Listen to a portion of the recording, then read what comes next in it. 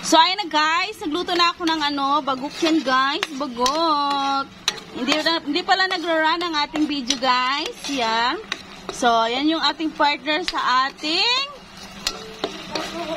sa ating ito guys. Aray ko, ano ba yan?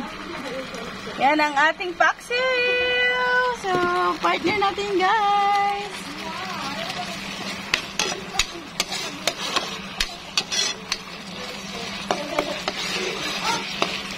Ano to guys? Sibuyas, bawang, at azukol kasi masyadong ma masyadong maalat ang ating bagok. So, yan na guys.